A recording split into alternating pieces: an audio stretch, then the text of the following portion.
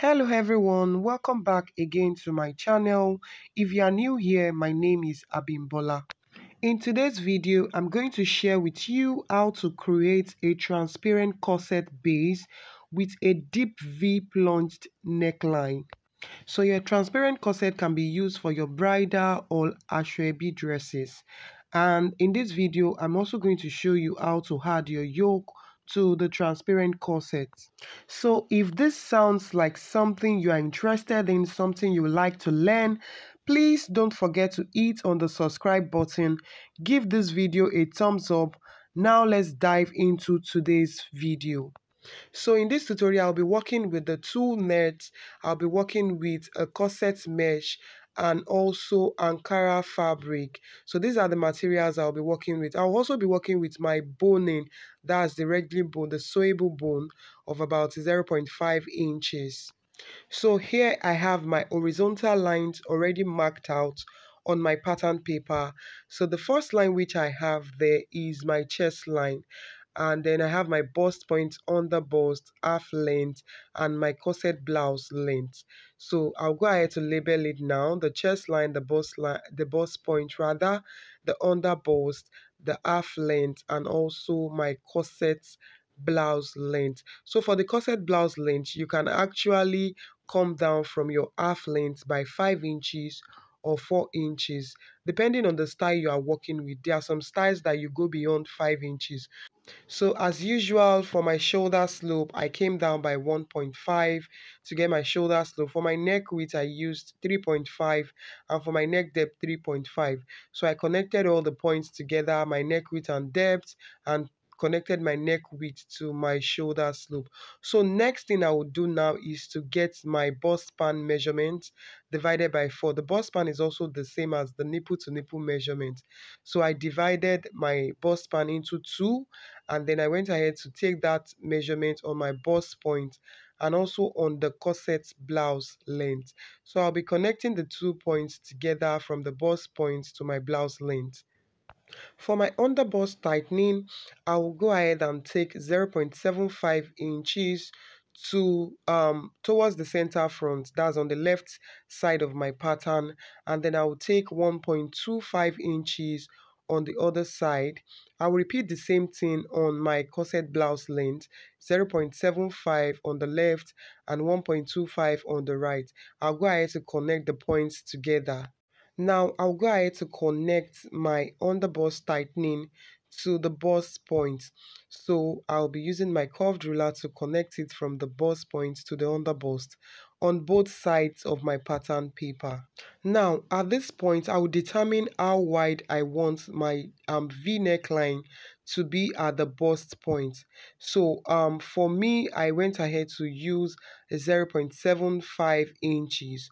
Now note that you can use 0.5, you can even use 1 inch depending on how wide you want that part to be. And then for the depth, you also need to determine how deep you want your V neckline to be. So for me, I came down from my underbust for um, about 0.75 inches.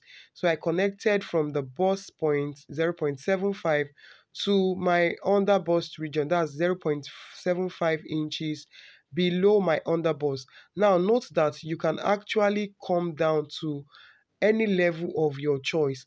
Some deep V um, neckline actually gets to the half length. Some actually stops at the underbust so it depends on what you want to achieve. So but for this tutorial purpose i came down from the underbust by 0.75 so for my overbust line from the chest line i went ahead to take 1.5 inches that's for my overbust line so i marked that point and then i will rule that part with my ruler. Now that we marked our overbust line, we go ahead to do the overbust tightening. And to do that, I would take the measurement I have for my shoulder and then I'll divide that into two. And then from the midpoint of my shoulder, I'll connect it straight to my bust point like so.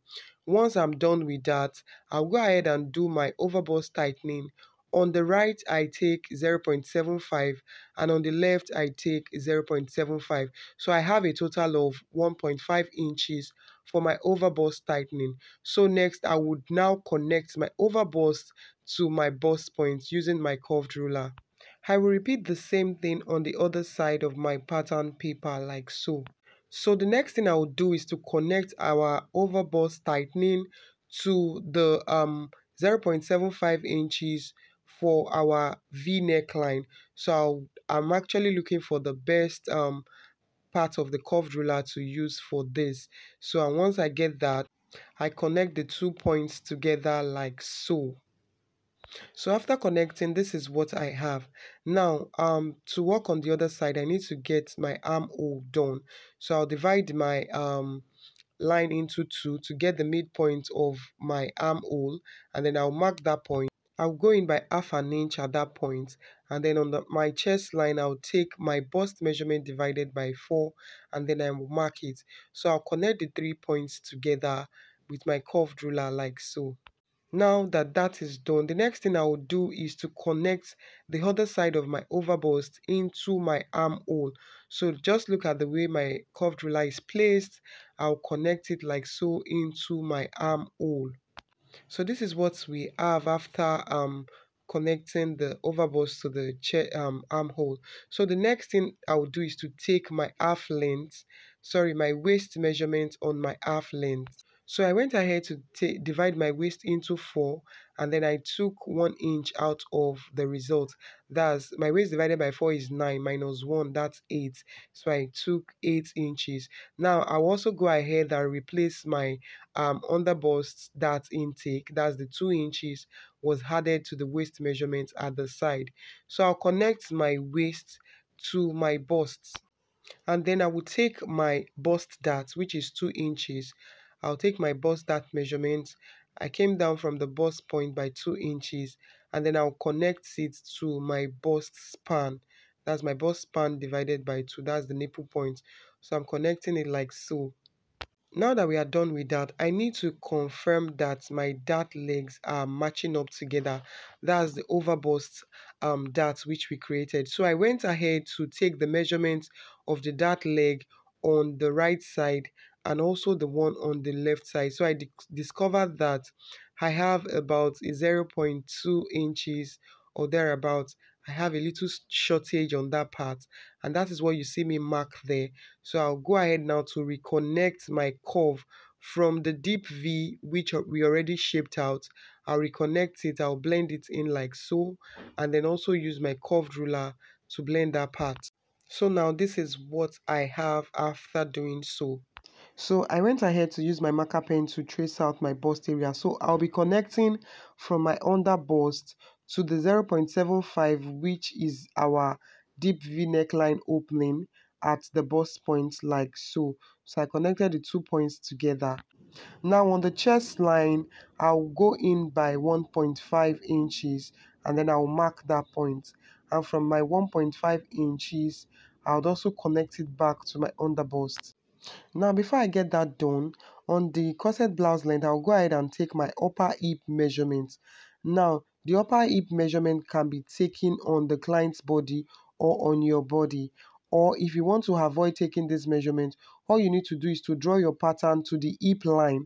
And then when you get the hip measurement on the hip line, you now um, consider the length of your corset and then you mark that point and that is that will serve as your um, upper hip measurement. But for me, I didn't get to draw my hip line because I already um, know my upper hip measurement. So I just went ahead to take this measurement on the corset blouse length. So this is what I was marking there. And I also replaced the 2 inches which was used as our um, underbust tightening was replaced back. So I'll go ahead to connect from my waist to the hip line and now the next thing to do is to draw a cup but before that is done I need to open up um, the darts on our pattern so I slash through from the corset blouse length to my bust point and then I'll also slash through by the side of my pattern so that I'll be able to um, close up my bust darts. Now I'll close up my bust darts like so and then I'll hold it down with my paper tape.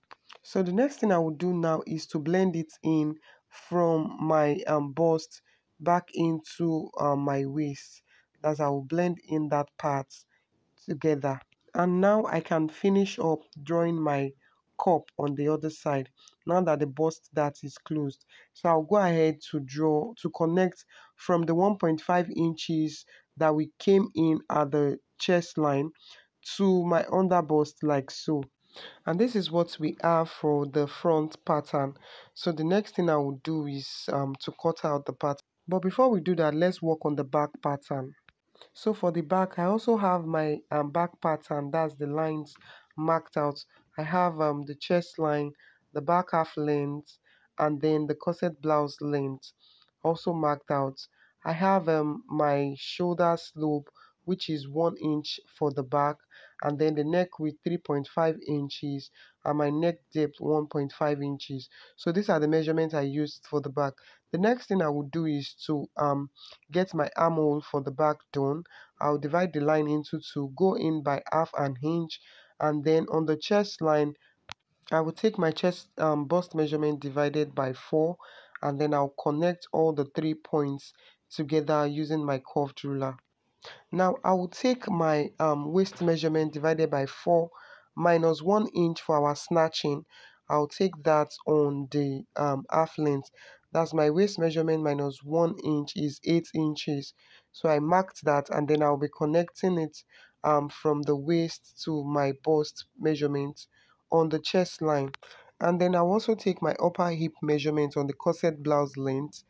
I'll take that measurement like so and that is 11 and then I'll connect it to my um, waist measurement. So like I said, if you don't know how to get your corset blouse length, all you need to do is to um, get your hip line and then take your hip measurement on the hip line and you determine where you want your corset blouse to end. So wherever that ends, that is the point you would uh, mark.